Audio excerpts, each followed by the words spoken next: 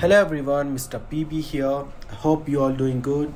So today i'm going to show you how to remove the continental gt exhaust. So to remove the exhaust you just need to remove only four bolts. So first you just need to remove this cap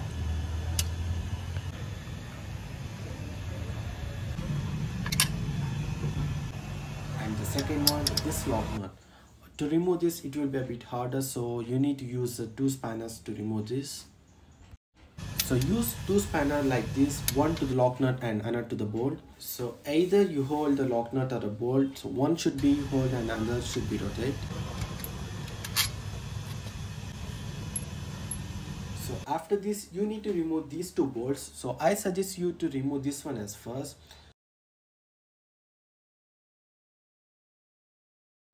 second one is this one so after that you need to hold this exhaust and twist it later and take it off. So thank you everyone. I hope you all understand how to remove the exhaust.